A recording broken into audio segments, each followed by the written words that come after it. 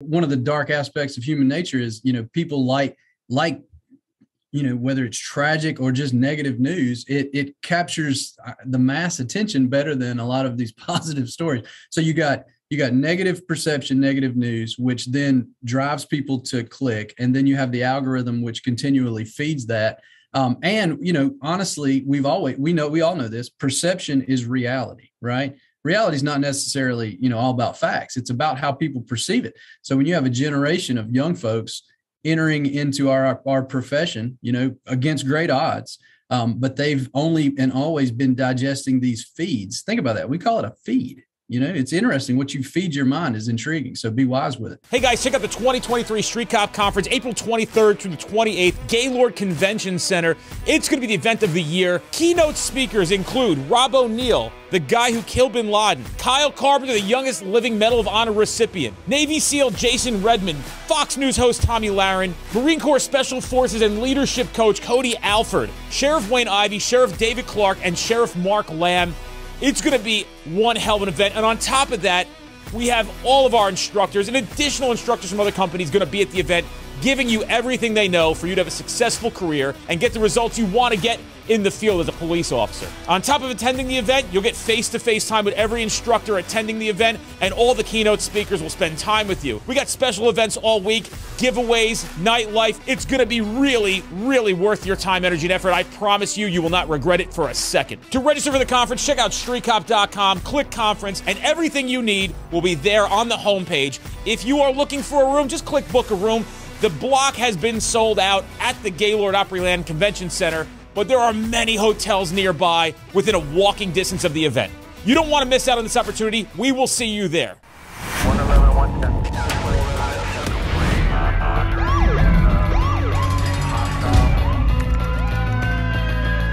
training to be a street cop? Hey guys, welcome to this episode of the Street Cop Training Podcast. I'm your host, founder, and CEO of Street Cop Training. My name is Dennis Benigno. I have with us today Lieutenant Kory Flowers. And we had a little time before we started the podcast to talk briefly. And I'm going to point it out right now. He sounds just like fucking Matthew McConaughey. You actually, right now, kind of look like him too, which is fucking strange, dude. Are you like his cousin or some shit? No, but I'll take it. And if there's any royalties uh, associated, I'll also take that. This is like pretty uncanny. You hear it all the time. Yeah, I've heard it a couple times um, since since that, and I'm a fan of that fella. Since he got a you know he got big the you know so i'm not i'm not going to say uh you know shut it down but uh I, have heard that a couple times yeah. Dude he's the smoothest dude i've seen in a long time. Listen bro i'm glad my daughter's not even close to your age because i you'd be if you're a fucking charmer bro. I got me charmed. I'm like i want to go on a date with this guy. Uh that's kind my man. I appreciate it. Knowing you as i do i'll take that in the right way. So there you go. Thanks i appreciate it. Yeah. uh, so tell us about you where you grew up who yep. you are, what you do, and all that shit. Yeah. So I'm from uh, I'm from here in North Carolina. Uh, I'm working now in the with the Greensboro Police Department, but I'm from here in the heart of North Carolina. I'm a, I'm a Tar Heel. I went to school uh, in Chapel Hill for four years. The uh, one of the greatest basketball legacies in the country, and so that's that's where we're that's where we are. I've started working here in the agency in in the 1900s in '99. Uh, but I get to say that a lot of people don't. So I was in the uh, police academy here in the in the in the agency that began in '99, uh, like everybody else, you know, that's about a seven month ordeal. Got out on my own in 2000. Um, and in the last 23 years, 22 and a half years, I've my career has been extremely heavy on the intelligence and tactical side of operations. I've never written a speeding ticket. I've never written a seatbelt ticket. You know, those things are important and it just vital. gets better and better. Not, it just gets better and better. Yeah, it's just not my thing. You know, and I've got friends that do that, and that that definitely serves a, a great purpose. It's just not what has held my attention. Um, so I've done, you know, I've been fortunate in this agency to do everything I've wanted to do. Uh, I was a detective for a couple years, and then I, I became uh, I got heavily into gang investigations and was assigned was selected to our criminal intelligence squad, um, which is one of the first like proactive street level intelligence squads that was founded in our state. It was founded back in the uh, back in the late '70s, and you know we track, monitor, investigate anything weird. So any subversive groups. Um, my specialty was white nationalism, white supremacist activity, outlaw biker gangs, sovereigns, Antifa. We were we were dealing with Antifa before that name that word was in you know in the public sphere. So I was an intelligence detective working hand in hand with uh, the federal the federal agencies here in the state to investigate um, a lot of the you know hate crimes, bias based crimes, that kind of thing throughout the throughout the southeast, primarily east of the Mississippi River uh, primarily the southeastern seaboard. Uh, so I did that for about six and a half years, seven years in the middle of my career. Um, at the same time, I was assigned to. We have a, a, a part-time on-call 24/7 SRT team, SWAT team here in the city. Um, so I was a, a, member of that 30 30 man uh, team for about nine years. Uh, I ran the SWAT training program for our unit for the last two years I was assigned. Um, got promoted out of intelligence, went back to the street. Um, I worked one dark year in fraud. Um, and I say that because it's just, it was not my thing. I was not good at it. I was not, I'm not that smart.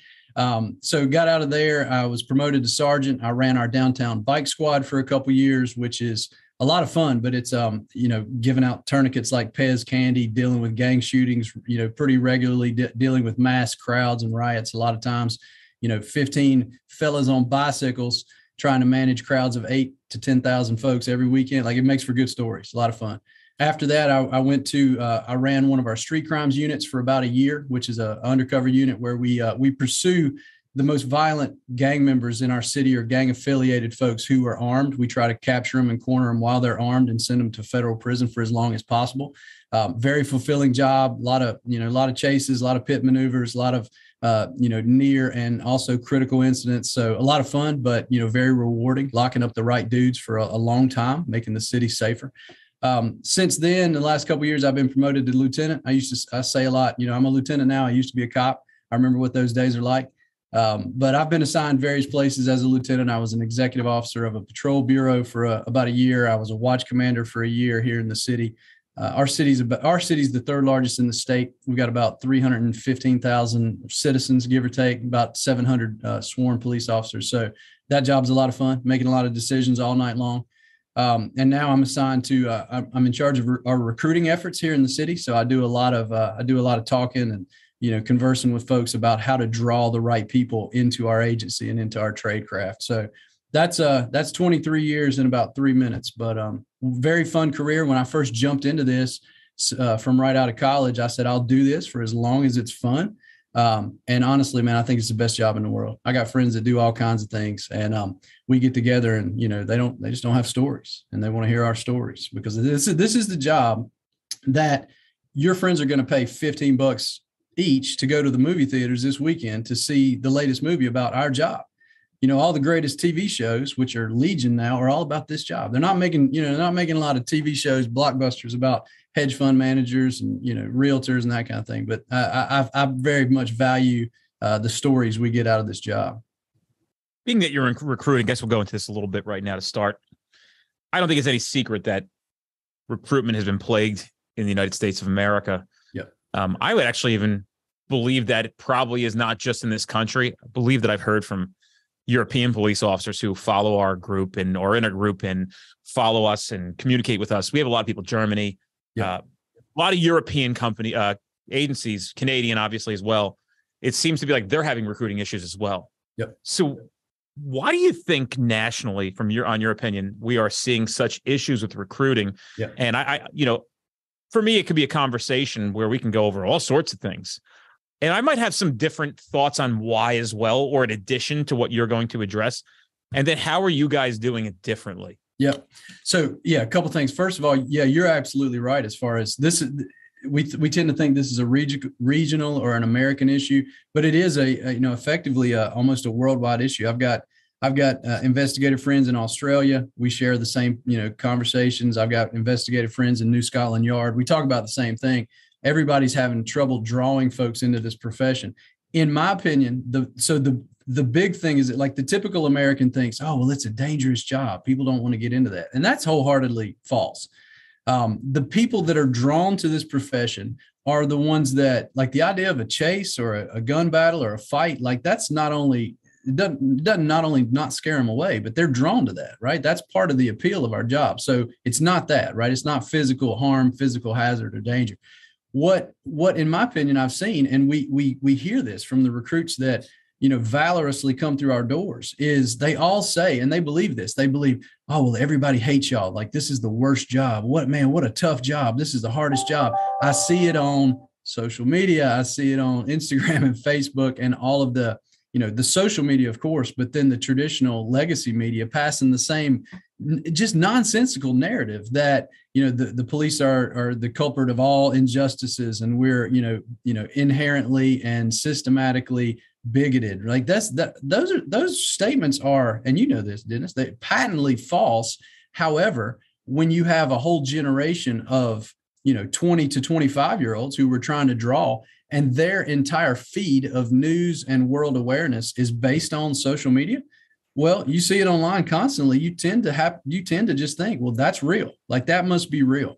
And I, I have these conversations i tell these folks look that it's not real like it's not real. If you wear this uniform today in our city and I've, I've literally if i go stand downtown where you know good good-hearted clear clear-minded americans are walking to lunch and sharing you know lunch breaks and going to eat and hanging out if i just stand there five out of ten people stop or at least say man we appreciate what you're doing. Thanks for your service. Like that's the truth but that is not it's not you know put out there by the folks you know in charge of social media and then in charge of, of, of legacy media so we've got well i'm going to jump in here real quick and say and i'm going to address why that's not put out there Yep. And let's unpack that a little bit further. And I don't mean to interrupt you. I, I generally like to get people to go on a roll, but I also don't want to circle all the way back around to this. I know you're going to keep going beyond this. Yeah, good. But people have to understand something how algorithms work and how advertising works. So when you understand this, you'll get, oh, okay, it's a little more clear as to why uh, police are put on this, you know, essentially chopping block nonstop. Yeah. So one, everybody's interested in the police. There's no question about it. But number two, your algorithm, anybody who's engaging on social media, we're influencers in some sense, right? Maybe we're not, we don't have the biggest following in the world, but in the law enforcement space, street cop training has a lot of attention. What you'll see is the algorithm recognizes when we do something good because now it's more of a TikTok style algorithm. If people are clicking on it and finding interested or watching a little bit longer, what they do is they serve it to more people. What they want to do is keep you engaged in a platform. Yes. And it all comes down to one thing at the end is money. See, TikTok hasn't really started to capitalize on their attention. How it works is they build attention and they start putting prices on sponsorship. So the more attention they get, the more valuable the product becomes. So if you can get people to stay on your platform and not switch back to Facebook or not switch back to Instagram, that's why they're hurting because TikTok just became so much more uh, entertaining Yes. Um, and I believe they're not hurting to the sense where they're just hurting in general in the macro sense of things. But it's the same thing with the news. You'll see the news media try to toss some stories out there. It's very simple. They'll see what kind of sticks. Yes. And once they see their algorithm saying, all right, people are clicking on this. Like right now, it's the Idaho murder suspect. Now it's going to be the unclassified documents. Yeah. Um, the Idaho guy's actually fallen off. The guy who killed those four poor those poor kids, he's falling off the map. And all you got to do is go to CNN or FoxNews.com to see what's the most trending thing. Right now, in the history of the United States of America, cops are not the hot topic issue. They're still around, but not the hot topic. So you won't see a lot of police topics. Anything, the stuff that's actually. Uh, seems to be catching a lot of traction is uh, pro sentiment police. Poor these poor cops. This guy was killed. Hmm. Uh, let's not forget they ran in. They were heroes. All of a sudden, everything's changed. You know, people have to pick their fucking morals and stick to them. But and, and pick the side they're going to be on. Don't look so easily persuaded by what the news tells you. Yeah. So that stuff now is doing well, and that's why you're seeing more of it. So you're just being fed what they want to feed you and what they know you're emotionally going to continue to watch. That's right. So they can sell advertising space to organizations to sell products. Yes. It's the whole fucking thing, just so we're clear. Yeah, no, Right. 100%. So Yeah. None of it's true. It's just how it works. And when you understand that, people say, oh, I mean, when Russia invaded Ukraine, yes. I mean, it was running on fucking CNN for three weeks. You couldn't find anybody touching that thing with a fucking 10 foot pole now. That's right. They don't, nobody care. It's not that Americans don't care. We just don't see it anymore. So we're just like, oh, it must be okay. That's it's right. a fucking disaster over there. I mean, people are being slaughtered. yes. Human beings are losing their lives. And, but nobody, oh, it must not be happening. I mean, Yeah. real news doesn't even get reported. And it's Correct. all biased. It's about one thing, either to push an agenda or to sell. Yeah. That's all they want to do. If it bleeds, it leads. It's a, Yeah. There's a reason why it says that. So that's my quick rant. And I wanted I wanted to throw that in there why you're seeing that in your feed. Yep. Kory Flowers, carry on, Lieutenant. Yeah, I mean, and you're you're right, Dennis. So, uh, and one of the dark aspects of human nature is, you know, people like like, you know, whether it's tragic or just negative news, it it captures uh, the mass attention better than a lot of these positive stories. So you got you got negative perception, negative news, which then drives people to click. And then you have the algorithm, which continually feeds that. Um, and, you know, honestly, we've always, we know, we all know this perception is reality, right? Reality is not necessarily, you know, all about facts. It's about how people perceive it. So when you have a generation of young folks entering into our, our profession, you know, against great odds, um, but they've only and always been digesting these feeds. Think about that. We call it a feed. You know, it's interesting. What you feed your mind is intriguing. So be wise with it. But we call it your feed. So you have this feed, and you know it, it's perceived as reality. So we have to overcome that. Um, you know, I've said I've said for years, and I don't know the proper platform to do this, but I think movies and TV shows are one avenue. But I feel like um, you know one of our greatest assets in law enforcement that we don't exploit enough is just our stories. I mean, there's heroic stuff going on this morning in my city, no doubt about it. There's some 22 year old out here doing miraculous things, and we don't talk about that enough, in my opinion. And I don't know, again, the exact platform for that, uh, whether that's town hall conversations or produced, you know, formats, but man, we, I mean, these young guys and gals are doing great things, and we don't talk about it a lot. So it's interesting how to, trying to counterbalance all that negativity there's one thing that's refreshing when we talk about social media. I follow an account called it the Good News Movement, mm-hmm. um, and it really I, I, thought about this a long time ago, and I'm glad that somebody did it. Uh, it's not my forte because it's not my space, and when you pick a space, you got to stay it and stay the course to make yep. sure that you do not. Because I could do a thousand things, but I got to make sure I stay focused on street cop training. But yep. uh, Good News Movement is one of those Instagram accounts so I suggest people will follow. I have no affiliation with them, but they really do put nice stories up all the time. And I got to tell you, it's refreshing to see they have a lot of, I mean, they get hundreds of thousands of likes on every story they put up. That's great. And those are the stories we should be emphasizing because I got to tell people when we were doing police training during the uh, George Floyd protests and the anti police sentiment in this country, you know, I, I would speak to these groups of men and women. I'd say, we're in a room with 100 people. Now, there is everybody looks different here. You all have different shades of skin, different ethnicities, different backgrounds, different genders, different religions.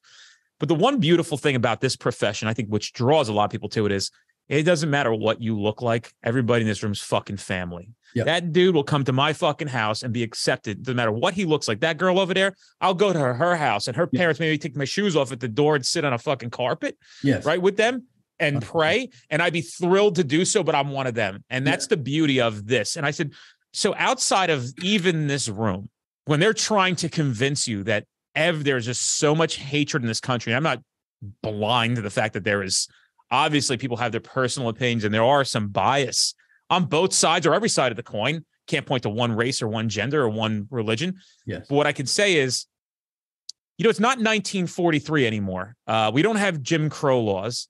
And you come to my house and watch my kids play, you would it essentially is what Martin Luther King Jr. envisioned. Yes. And and that's how beautiful it is to live in this country. Yes. So, well, they have you convinced that we are at some kind of civil war amongst the races.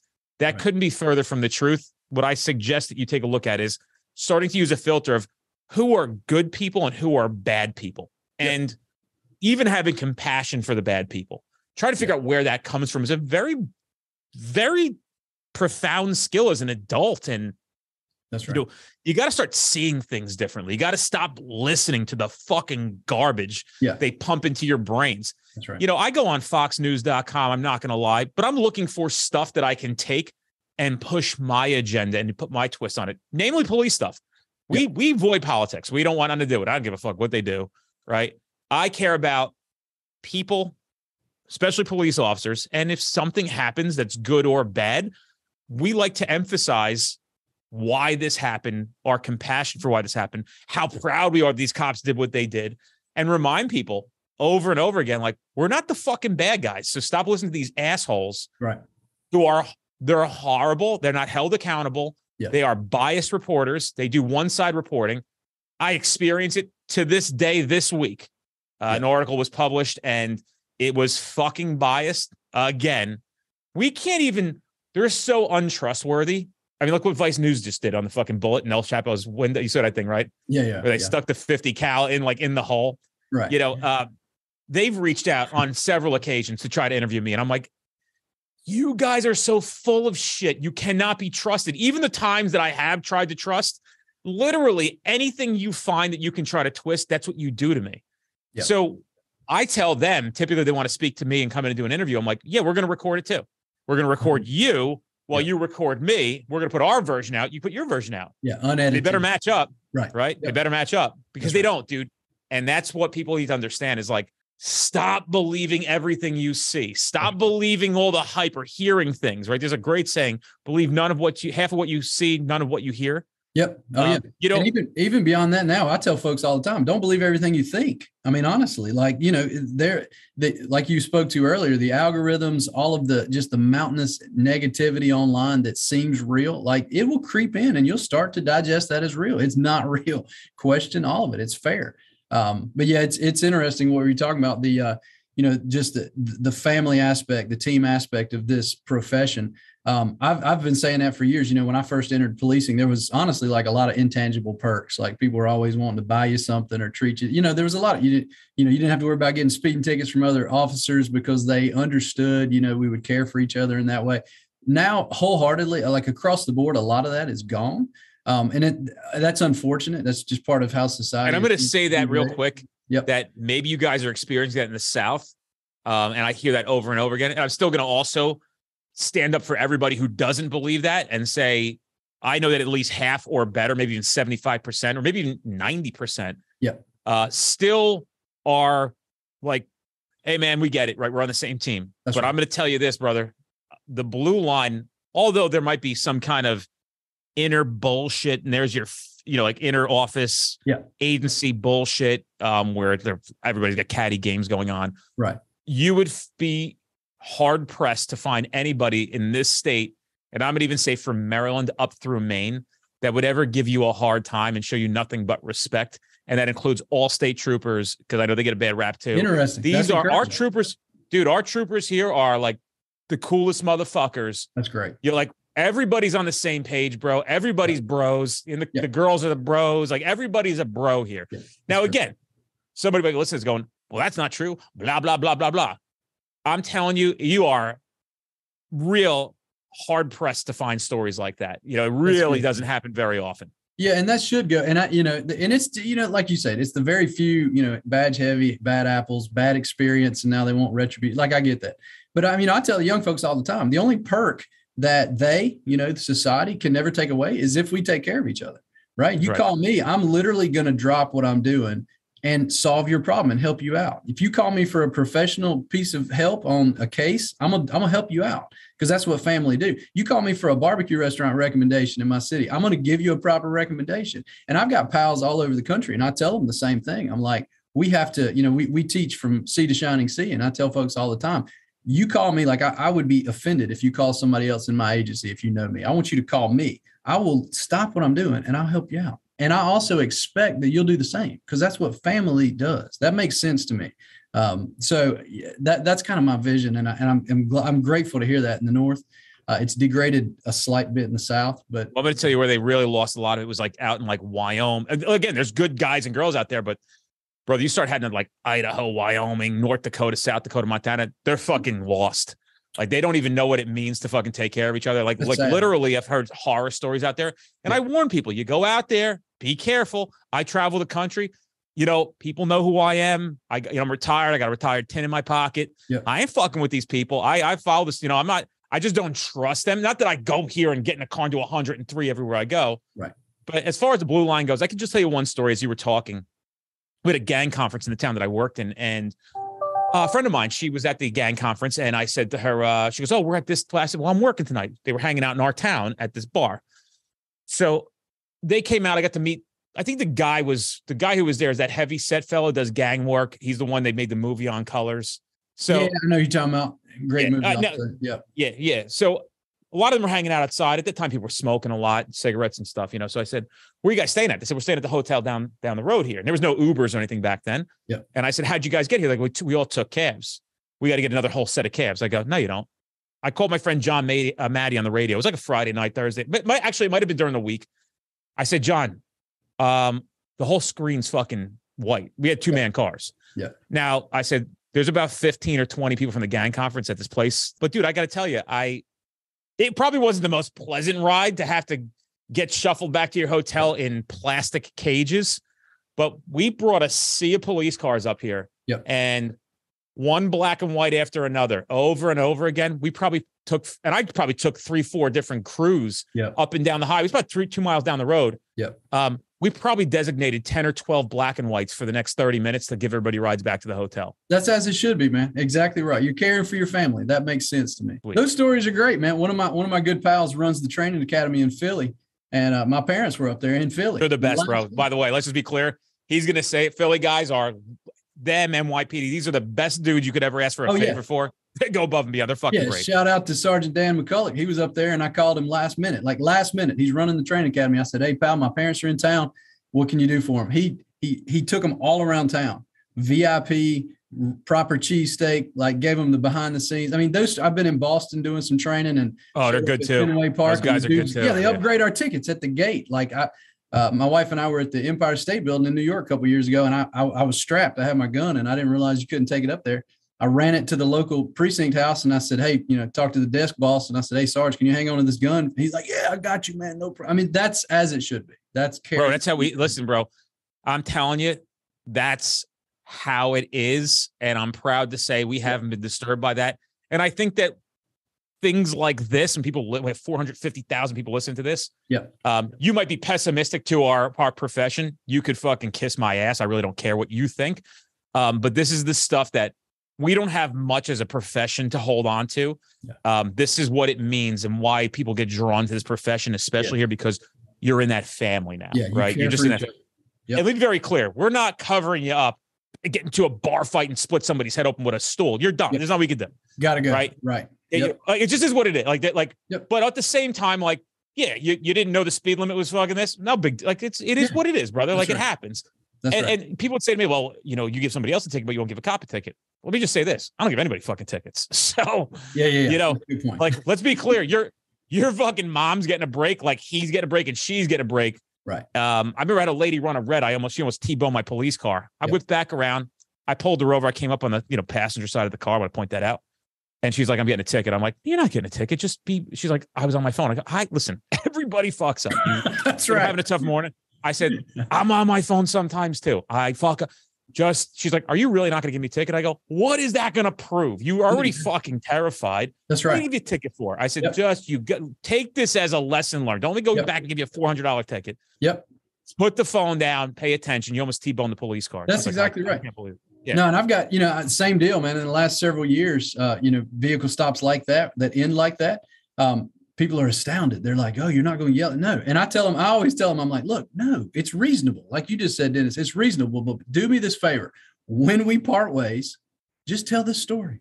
Just tell this story. That's all I'm asking. Tell your pal, tell your coworker, look, I got pulled over. The dude was totally reasonable because that's kind of the antidote to a lot of this nonsense. But yeah, that's that's being reasonable. That's being a human being. You know, that's the goal. I mean, people people are like, "Oh, we need to get public support more on our side." I'm like, "Well, maybe you should stop running traffic and writing tickets for nine over the speed limit." You know what I mean? a- Like, that's a strong point. Yeah. listen, you want you want to. I get it. Guys doing 68 to 25 through a school zone. I'm, I'm with. I, 100%. you got me sold. I have kids, right? But come on, man. Like, you guys are going out being fucking hand jobs. Yeah. Now, I'm not saying that interdiction. You know, this is your pretextual stop. That's what we're using. Whole different. That's a different game. Yes. I would I would argue that you should stop for two over the speed limit if you see a vehicle that you suspect is involved in criminal activity. Yeah. Um, but come on, you you you know the question is, do you think you're helping us? Do you think people Right. are proud that you're going out and Yeah. you're slowing people down on the highway? They like to see the cops out there, but you Is know, that a good there are those people who- right. Is that right, a good there are those people who are like fucking lunatics, right? Yeah, you know, it's just just Right. if you want to help, you are not helping by take. You know, I think people understand they get caught doing 30 over the speed limit to get a ticket. They're probably not super pissed at the police. Right. People get really irritated. I had a guy get pulled. My friend Frank gets pulled over and um, he's driving his family to Tennessee. So Yeah. he calls me because I got pulled over and got a ticket for one over the speed limit. Oh, wow. Wow. Yes. Eh, So I said, Are you serious? He goes, Yeah. So I call, I get in touch with the guy. Somebody got me in touch with him. And I said, Bro, he goes, Well, well, you know, uh, it's a it's now a construction zone. So it was that he was one over. Now he's 11. And I said, So he's 11 over. You got a guy who donates to the fucking PBA up here like a lunatic. All his friends are cops. He's got all these cards on him. He's a great citizen, a great human being. He's got four kids in the car. Yep. His wife's a doll. She's like motherfucking Teresa. What are we? Uh, you know, and, and this is what you guys and I literally said I never forget this conversation. I went, and this is what you guys think is police work. right. Like, Yeah. go out and get some fucking drugs. I said, dude, you can come to our class, Yeah. and I will, t- dude. And Frank was like, look, dude, there wasn't a soul out there, right? I went into the fucking, I went into the rest area. I came out and into cones, but I didn't see the sign. The guy self-admittedly said, Sure. well, the sign's like where the rest areas, you'd have to drive through that to see the sign. And I'm like, bro, you guys are such fucking What are we doing? Yeah. What a terrible Like, use of time. This is why people hate the fucking police because Right. it's guys like you. And you know what the crazy thing is? They just don't know any better because that's what they think police work That's is. a good point. Yeah, that's a good They- point. they That's don't. they've. That's right. That's I didn't know do. any better. I wrote tickets. I'm embarrassed as fuck, Lieutenant Flowers. I've written tickets that I shouldn't have. I've had people intervene. Like, you think you really need to write a ticket? Citizens. And I'm like, don't bother me. I'm writing a ticket. Yeah, yeah, And. I'm like, damn, that guy was fucking right. He was right. So- that's right. We've all done it. I've run Yeah. random plates thousand times a day. I've written tickets when they didn't need a ticket. I worked click it or ticket once and I like couldn't get tickets out because my soul, I needed Oh, the money, like the 50 Yeah. bucks an hour. Yeah. And I came back and they're like, how many tickets you write? I'm like, three. They're like, you're supposed to write 10. And I'm like, I can't do it. They're like, you're not working this ever again. I said, I Yeah. know, I already made a decision. I yeah, can't it's fine. I Yeah. can't go out and give people tickets. I just it's Yeah. not in my fucking soul. Hey guys, if you're enjoying the Street Cop podcast, do us a favor and go give us a review on iTunes or Spotify, wherever you're listening to us. Tell a friend. We don't charge anything for the episodes. We appreciate your support. Check us out on any social platform by putting into the search bar Street Cop Training. Give us a follow. We have a lot of free content coming out every single day that you might not catch here on the podcast, and it's important for you to be able to do your job more professionally, and we also entertain you as well. And I've always, you know, honestly, between me and you and all the 400,000 people that have watched this, I, I've always had an ethical dilemma charging people with things that I routinely do anyway. So that's why I never Yeah. wrote a speeding ticket because I tend to speed and I don't, I don't wear a seatbelt. I'll, I'll say often. We'll leave. That. So I have a cha- it's a challenging conversation for me to charge somebody else for doing that. So yeah, just being reasonable and being like a human being. Like what a novel idea, you know. I mean, we got a tough job, but you don't have to you know you don't have to lose your soul i don't think that's wise and it's not helpful you know for for like you said for what we're trying to build back i think that makes sense people need examples. They need a podcast like this to listen to it and go, you know what? Uh, man, these guys are right. So Yeah. as a company, we don't just train you like this. is How you catch bad guys. This is what guns look like. Yeah. This is how you fucking find stuff in the dark web. This is we say, hey, look, we're in our 40s. Everybody here is pretty much in their 40s. Yeah. Put our arm around you. Come with us. We're going to show you what it looks like to be that's good, cops. Yeah. Right That's- overall what we think good police work looks like. Yep. Um, and how you should behave towards each other and towards the public. Yep. And you don't got to be this tough guy to Right. get this job and get it done right. So let's and people say like you guys really guide a lot of us. I mean, really appreciate it because nobody has guidance. You know, nobody's giving us any guidance. You're coming that's out and you're just playing this fucking guessing game. Right. That's good to hear man. And there's not a lot of not enough of that going on right? I mean our our profession has you know traditionally been one that's you know that it, it's it's passed on. It's not there's a lot of stuff in the manuals that we have but you know passing on that knowledge that firsthand knowledge that firsthand ethos of how to deal with just life and you know as challenging as it's going to be anyway and then folks and um, yeah you need to pass that on. That's that's our that's the gift the streets given us and we need to pass that on to the next generation. I think that's i think that's exactly exactly perfect There's a video that came out recently. I play it in class now, and uh, kids out. There's a protest, and you know he goes after the guy's like, "I need your ID," and then he starts chasing the guy. He's deploying a taser after him. He misses. The sergeant shows up, and the sergeant's like, "What are you doing?" He's like, "He didn't give me his ID." He's like, "For what?" And then he says, like, because he's trespassing. He's not. It's public property, right? and so people watch this and are like, "Oh my god, this kid." I go, "Okay, let's let's just stop for a second. Yep. You have served this kid up with enough training to ensure that he's gonna fall on his fucking face. sure He was out there thinking what he was doing was correct. right Now, Yeah. I'm glad the sergeant was there to stop and intervene to no longer have a Fourth Amendment intrusion because he was wrong. Yep.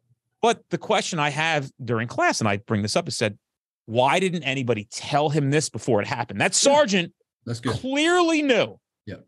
that he couldn't do that. But why didn't he tell them that before? Hey, if you run into this, just Yep. so you know, we can't compel ID. This is a Yes. Why didn't we talk about? Why is there still videos of First Amendment auditors and these cops still coming out going, Yeah. "You got your ID? Like, Still what the the fuck are Yeah. you doing, dude?" You're going to be on YouTube. You can never get off YouTube. That's not, yeah, know, know the law. You know, we tell the folks all the time, know the, like, know the law. Like, that's your scripture. You should know that yeah, but on top of it, like you can say it, but if you know it, and you're not sharing it. You're fucking worse than they are. 100%. Right. So, like, totally. If you're a Yep. supervisor or you're running a training academy or you're head of an agency, um, you know, and you're not acknowledging that, like, we fucking failed. Yes. Our cops don't know what to do. They're handcuffing this blind guy over a walking stick.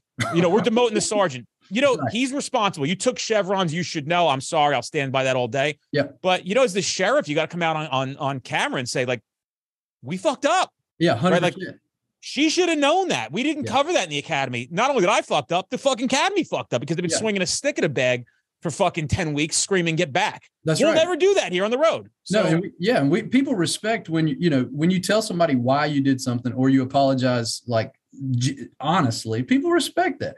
Uh, you know, I've always told the young folks, look, go go forth into the street and make creative, assertive, innovative, aggressive mistakes. It's fine, right? You, you if you're operating ethically, morally within the law, and you make a mistake, it's fine. First of all, don't lie about it, right? Learn from it, tell the truth, take responsibility, and then we'll learn from it. And then you know what I'm going to say? Go forth and make more different, but more creative, innovative, assertive mistakes. And that's how that's the best policing, right? That makes sense to if me. your We're not held to administration if your administration submits to having a policy like that where they're you got guys going to work literally shivering like fucking chihuahuas walking on eggshells Yeah. because your fucking lieutenant's such a piece of shit that he'll write you up your socks don't match because he's a lunatic. madness. So you can't go to an environment like that. And you know it's crazy, dude? It just breaks my heart to hear about these fuckheads that are literally the reason why people aren't remaining in this job. Yeah. They're I for the first time in my life in New Jersey where getting a cop job is like hitting the lottery. It's a six-figure paying job. Yes. Um, people are literally quitting. They're just not dealing with these people and their misbehavior and lack of leadership Yes. and lack of humility. And for some odd reason, people think that these fucking insignias on a uniform, you think I'm anti-administration, nothing to do with me being an anti-administration. Yep. What I'm saying to you is there's an administrative responsibility when you put shit like that on your collar 100%. that you've got to be better Yeah. and you've got to be a better leader and you've got to sit down and take time to learn how to lead. Yeah. Lieutenant Flowers is being a fucking perfect example of what it sounds like to display leadership.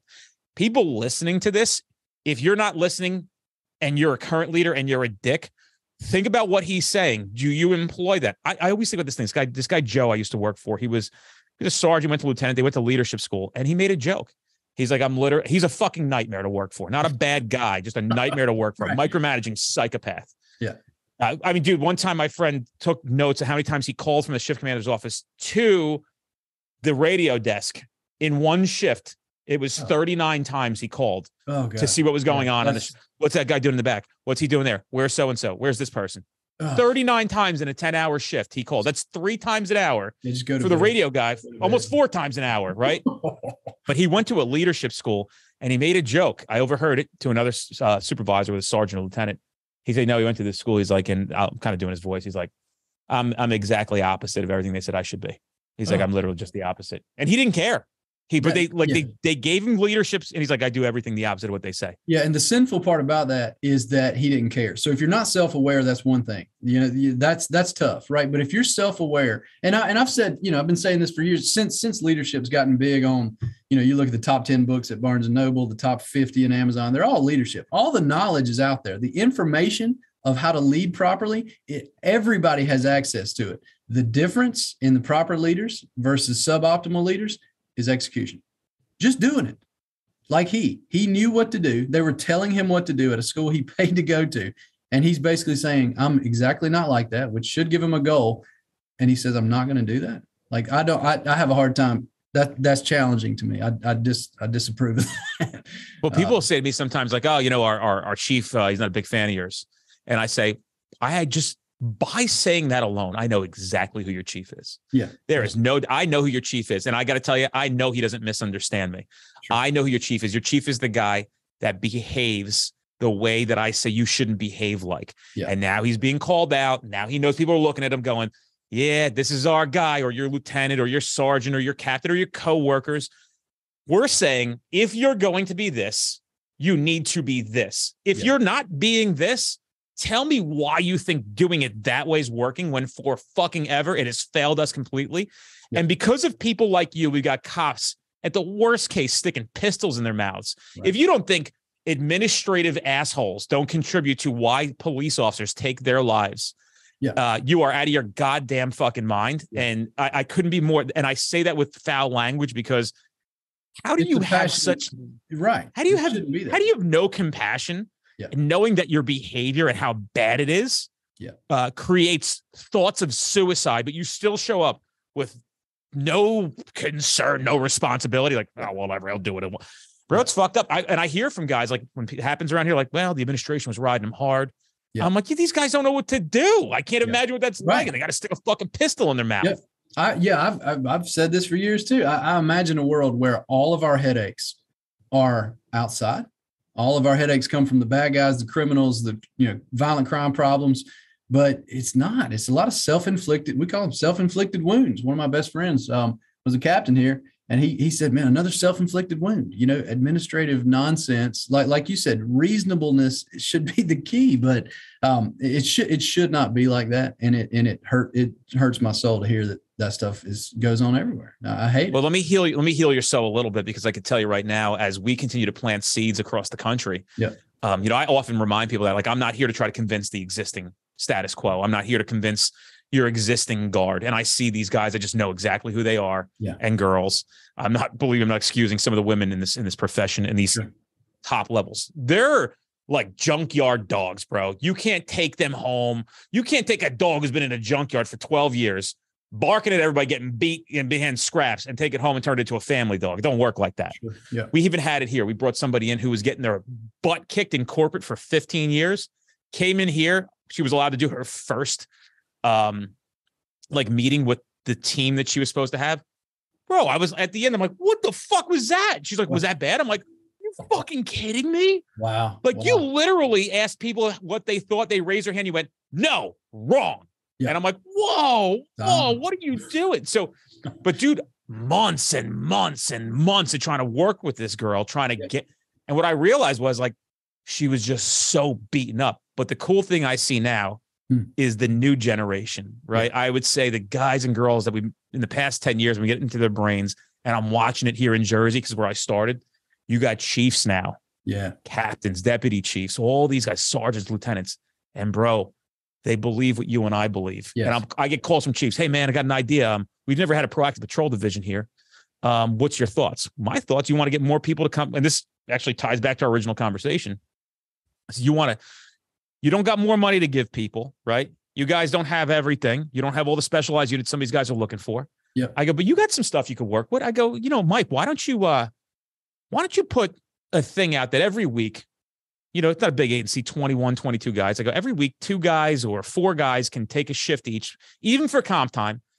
Uh, come in, their choice, plain clothes, tack gear, whatever you want. Yep. And they don't answer calls, but they go out and they're just proactive Yep. for a shift. guns. Yep. Give Exactly. give them 10 hours of overtime outside of the 40 hours. Yep. Uh, you could sell it to the town. The town don't got the money for it. Comp time, right? It'll be time for time. We got to give them time and a half. We'll get time back. That it, Yep. it won't create any overtime. We'll, we'll make sure it's scheduled on certain days. And he goes, uh, he goes, what do you think that's going to do? Think about it, right? Nobody in this state or most police departments don't have a proactive unit. Yep. Everybody who wants to be the police, you take a guy like me, oh, chomping at the bit to go out and catch bad guys. That's right. I catch wind that this agency has a proactive unit where you get to come in and wear a tack vest and a drop Oh, yeah. holster I'm and there. go out and professionally find criminals, Yes. lock them up, bring them in for comp time. I'm literally going to shove my chief off a cliff and start running towards that police department. So I said it does two it does two things for you.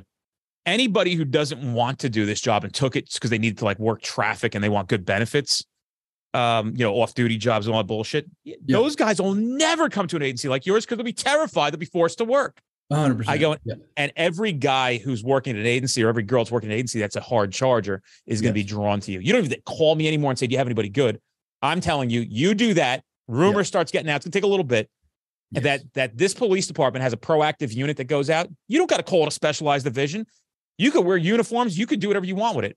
And bro, he goes, This is probably one. And I uh, Kory, I mean, I pulled this one out of my ass. I just came out of nowhere. And I goes, it's fucking genius, dude. And I said, yeah. He goes, I'm going to do it. Then he called back like a week later. He's like, what do you think it should look like? I'm like, this is what I think. He's like, bro, I'm doing it. I'm going to do it. I go, you will never, you'll never have problems trying to find the people that you're looking for because he wants right. good cops. Right. Well, t- yeah. T- two things. First of all, you should send him an invoice for the consulting. Uh, second of all, the, um, I, I, wrote an article for Police Magazine. It'll be coming out soon, and and it's about the the same idea.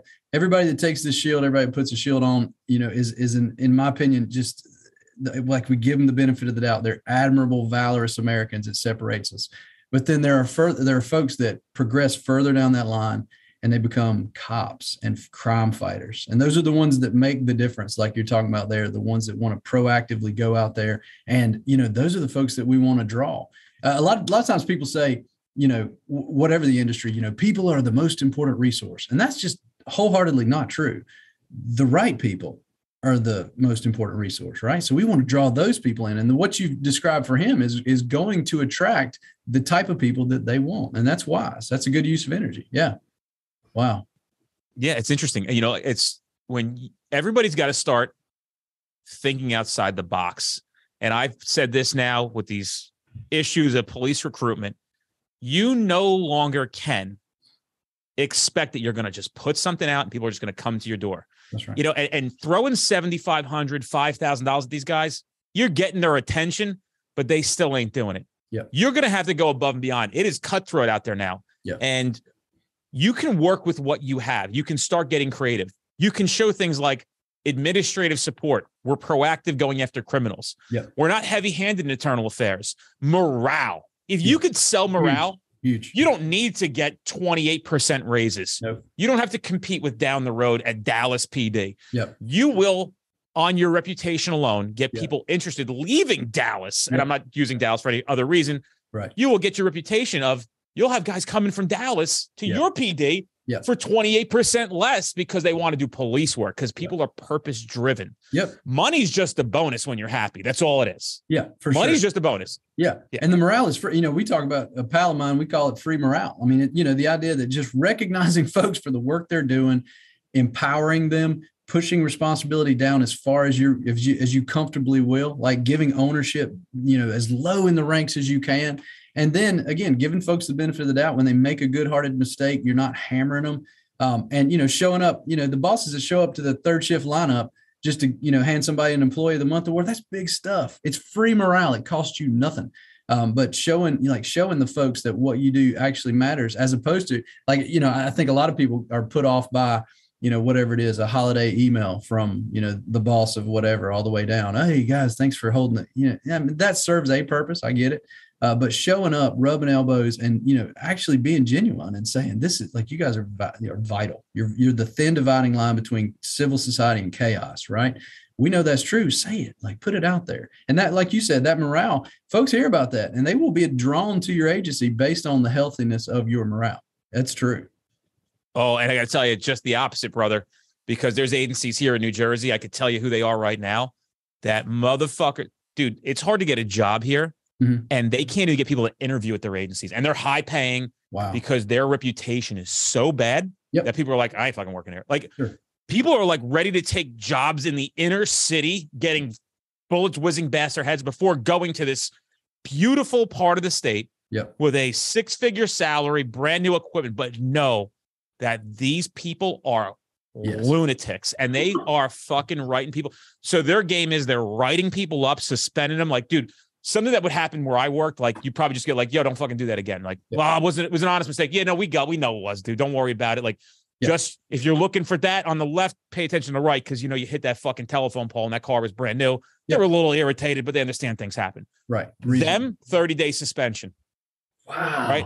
Yeah, like 60 day, 60 day rips for new guys. Wow. So that starts to spread. And it yeah, you can't shake that rep. You know, you got to convince people once you got a reputation like that it's twice. You know how, how much work you got to put out there? Yep. Like, hey, that chief's gone. Hey, that lieutenant's gone. Hey, they're kicked out. We had a new mayor come in. They found out the bullshit that was going on. They're yep. fucking gone. Yeah, yeah. Uh, the new guy we got is good, but dude, you got to convince people, and even yeah. the people that you've working for you, they're like beaten souls. Yes. Right. Yeah.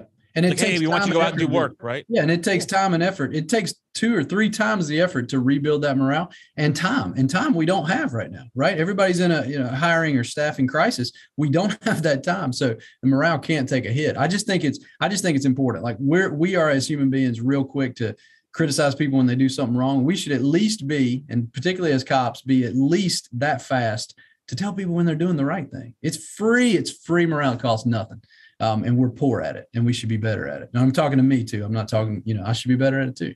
Uh, listen, man, if you're a leader and you're not constantly trying to improve, and you know, I always tell people here, I it, listen, I I make mistakes. It is what it is. But I uh, nobody in this office has seen me one scream or yell, yes, act emotional, and they all know that like maybe my decision wasn't perfect, but it's never malicious and it's always with my heart. and sometimes, and I hate to sound like a typical bullshit leader, in a small business, everybody's got to count. And if people can't fit the bill of what we need here, they can't be here anymore. Unfortunately. Yeah. Um, yeah, it's fair. It's it, and and at least in business like this, I don't have like um, you know, the union protections where I gotta, right. you know, I I talk to guys here like, dude, we we might hire five people and we get one fuckhead and we're stuck with that fuckhead for 25 years. Wow. Yeah. You know, like so we can't get rid of them. We can't. Yeah you can't get him in the probation period. And you got to build a case on these guys to get rid of them. Wow. There's nothing we can do. We're stuck with these mopes. You can look at four right. You think you got them all right. And then the one comes out, he's a bum. She's a bum. Yep. And we're stuck with this bum. And they start to collect, and the bums find the other bums, you know? Hell yeah. And then there's and they start to gang up. Yeah, there's you know I'm a, I'm a fan and an anti fan. Like I, there's pros and cons of everything, including union you know unions in that in that in that situation. That's tough, man. Uh, we need the right people. You know, period. That's that's important. Yeah, it's hard. And you know, honestly, uh, in places like North Carolina, the one thing that just comes to my mind is always the pay. Yeah. Uh, you guys are significantly, I don't know how Greensboro is, but yeah. significantly in North Carolina, it's historically known you guys are probably some of the worst paid in the country. Yeah, it's you know it is it's it's a challenge, and it's starting to you know agencies are are, are pushing more aggressively, which you know a rising tide helps all ships, and so we all right. benefit from that. Um, you know, and, and the, the other side of that, and this is going to be unpopular, which I don't you know I don't care um, you know, I, I think particularly like teachers, cops, you know, folks that have heavy influence on human beings. I think you need to pay them. You need to pay them an amount that makes sense, that is that is rewarding enough for the hard job they do. What you don't need to do is overpay them to the degree that you start drawing the wrong people into the job, right? If you if we we paid you know cops and teachers here 150 grand to start, like you would draw people into the into the profession that is a real vital profession for the wrong reasons. And so you got to be wise with that. But yeah, we're finally starting to get, you know, to catch up. And and I got to make this point though, you know, our, our taxes and our standard of living is probably one sixteenth of where you guys are too. So I won't say that like it, is it egregious? You don't want to go down. You don't want you don't want to go down that road, uh, Kory, because I'll fucking. I know. I'll, I don't want to put you in a bad. no, no, no, no. Because like, dude, like, yeah, they are. It's expensive to live here, but like, you're doing a 20, 25 year career. Look around. Who the fuck's living in North Carolina now? That's a good point. No, that's a good point. Yeah. Now I want to say on the other side of the coin, I'm going to play devil's advocate, and then we're going to wrap and have to do this a second version of it. I'm sure you'll want to come back on. I, yeah, I want cool, you to come man. back on. Yeah, we'll do this shit all the time. You might be my permanent fucking co-host. Let's we'll go. see. No. Yeah. When you say that we got to care, be careful how much we pay them. Let's first of all say that we know that nobody's ever going to get paid more in the public sector than they can in the private sector if they're worth it. Yep. Now, there is some problem with some of the theory there in the sense that let's take our prosecutors, for example, and I'm going to tread lightly on this. If prosecutors were paid a significant amount of money, what, you know, high paying attorneys make, yes. you would have some real qualified, stellar killers. I'm not saying there isn't a fucking fraction of them out there, like Leb talking, like a sprinkled dash full of salt yeah. granules of prosecutors that are good. Yeah. um, you would probably have good prosecutors and you have a lot of stuff being prosecuted appropriately. But what happens is, and you know, you've been around long enough that when these people have talent, at some point the money comes into play and there and morals do go out the window. Uh, yeah. I don't mean the sense of like they wanted to help put bad guys away. I've had friends of mine that are prosecutors. Like, look, I like being a prosecutor. I love the police. Yeah, I'm making sixty eight thousand a year. I got offered a job from a firm at two ninety four. Yeah, no, for like, sure. Yeah, you know, so so when you say like I also think on the other side of the coin is like, who are we attracting at 38,000 a year, right? Yeah, but who right. are we attracting yeah. at a comfortable living when you're somebody who's a brain like mine or a brain like my best friends who are lieutenants sure. and sergeants? Like yeah. these motherfuckers are like even now making 175, 180 as sergeant lieutenants in New Jersey a Wow. year. Yeah. Sorry to break that to everybody. Yeah, wow. They're just like, yo, I feel like I'm sold short. Like I feel like I could have made three, four hundred thousand out into my 40s. I'm like, you could have. You, right? you could have, yeah. And it, there's a trade off for sure. Yeah.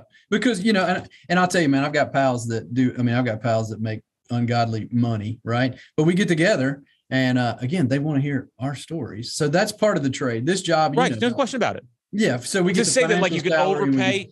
yeah. Yeah. But are you, but I think that also if you had a more investing, you might get better candidates. that's true. Right. Yeah. They're You're- dropped. you're right. I, I think, it would cast a wider net, especially with kids coming out of school with all this debt and everything else. bro, you know, you want to go get a job. If you're looking at a job, you got you got Amazon starting at 45, 50. You got Sure. agencies, you got cops leaving to go be to go work at Walmart for $21 an hour because the PD pays 1382. Wow. Wow. You know, like that's a real thing, dude. Chattanooga, Tennessee. I was talking to a guy a couple years ago.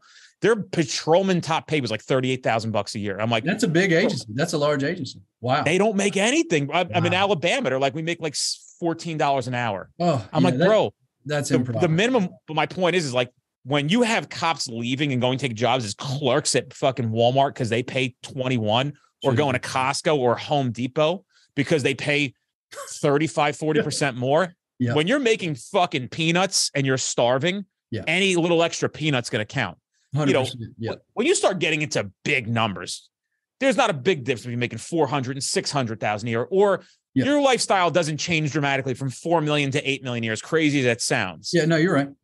right? But but not that I make four or eight million dollars here, believe me. Um, but I'm saying like at that level, you know, when when big box stores like Target are drawing police officers Yes. because the agencies, the towns, the politicians don't want to invest in their police, and then they complain, well, they're Yeah. not trained, they're not physically fit, motherfucker.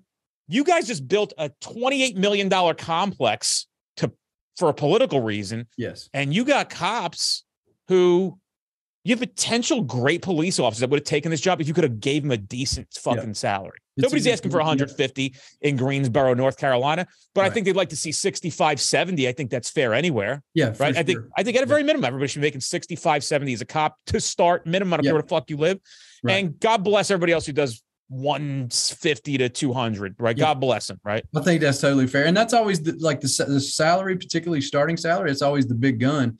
Um, you know, I, I send my recruiters all over the southeast and um, and elsewhere, and you know, they I, I tell them like talk about the schedule. Our schedule is great. Uh, answer questions about the salary, um, but that's always the big gun. That's what captures people's attention is that salary, that immediate dollar figure. And so Does you know, now. we can't. It does neglect now because people have options, uh. Kory. for sure. The internet's around. People Yep. have options. You can go fucking hustle on Amazon, be an Amazon ambassador, making Yep. fucking 60 grand a year. So right. they could do that at home or come to work and have some guy with chevrons tell them they're a piece of shit every day. Treat them like a fucking, like they're on the bottom of their sole of their shoe. right. Or they can just be self employed. So, you know, it's not this game anymore of like, I need a job. This is the best place to go. It's a steady Sure. pay. People have options, folks. We have the internet.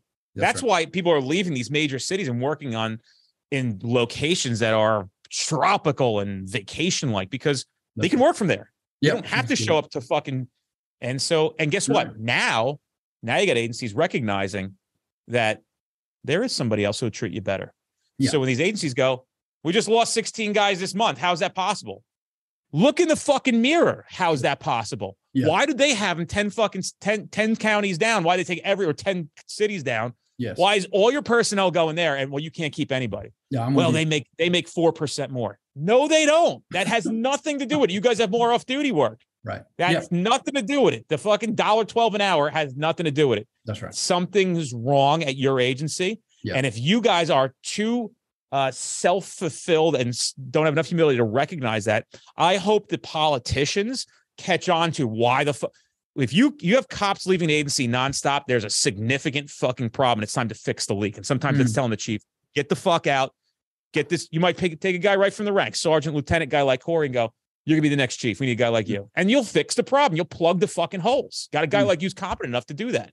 Yeah, that's. I think. I think. Yeah, like like we said a bit ago, like everybody knows the right thing. It's just all about executing it at this point. So yeah, it's a. I mean, it's tou- it's tough times, man, for sure. I, I'll tell you this. You know, I am always encouraged seeing the folks come in. Um, you know, a couple years ago during all the George Floyd riots and stuff, I was one of the watch commanders Um, and we had significant property damage and you know arrests and like mayhem, chaos, like true anarchy. Um, and you know, I would see these 21 year old, 22 year olds getting rocks, bottles thrown at them, spit on, screamed at for 20 hours a day.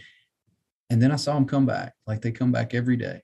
Like they get out of think about that. They that's miraculous. They get out of bed, a 21 year old, 22 year old, they get out of bed knowing what today holds and they did it again and again and again, and they did it for weeks. If you took a typical car salesman and you said, Hey, pal, just want to let you know um, today at your sales office, you're going to have probably a riot, people screaming vindictives at you.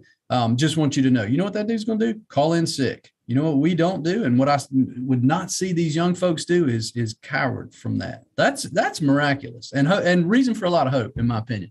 And that was great for me to, to see that. I like watching that. It's amazing. And and administrations better be fucking kissing their fucking feet for the rest of their careers and not forgetting that yeah. when they needed them, they showed up. So you better be showing up for them when you when you when they need you. Yeah. And so that's the truth, man. You yeah. got don't forget about it, right? Don't you were out there. Don't you dare forget what you put what these people went through and how proud you were then. Let's not fucking forget about that when you're ready to fucking hammer this dude down with a 10 day rip on some bullshit yeah. when you don't have to, but you do because you're trying to set precedent and his fucking family don't get to go to vacation this year because you're a dick. Yeah. So right. no, take care. Uh, listen, I'm not saying we don't need accountability. I'm just saying like 100%. you need to understand the difference between malicious police behavior that needs to be addressed immediately and swiftly kicked or removed from the agency, and a guy who made a mistake. Car crashes happen, right? You're on the road fucking 16, 8 to 16 hours a shift. Yeah. These things are gonna happen. You've got to look at those and go, we know you didn't mean it. Now the guy crashes four cars in a month. You got a problem. You got to solve the now problem. we're going to take this yeah. fucking guy and or girl and stick her inside. I got to do something with her. Yeah, get her a bike. Yeah. I don't know for sure. But it, you know, in 2023, in the chapter of American history we're in, folks that choose to enter this profession and wear this shield, like I'm fully prepared to give them the benefit of the doubt. I think that's fair. I think that makes sense. Start with giving them the benefit of the doubt. They entered this arena in this chapter to do this kind of work um, like they're the best of the best. You give them the benefit of the doubt at least. You're always fair, but yeah, you know, be reasonable, right? That makes sense. Uh, Lieutenant Flowers, you bring out the very best of me. I, I appreciate, appreciate that. Good. We're gonna do this again. Just we're gonna get it scheduled up. I appreciate you being here, man. Uh, mm-hmm. Listen for episode two. I never put two of two because who knows? I think Kory's gonna be a recurring character on the Street Cop podcast. And appreciate your time, man. And um, it's real pleasure meeting you. I hope we get to meet you in uh, real life. I imagine you and at least a hundred of people from the Greensboro Police Department come to the Street Cop Conference. So I'll cool, man. I love it. Thanks, Dennis. Good work. All right, brother. I'll see you.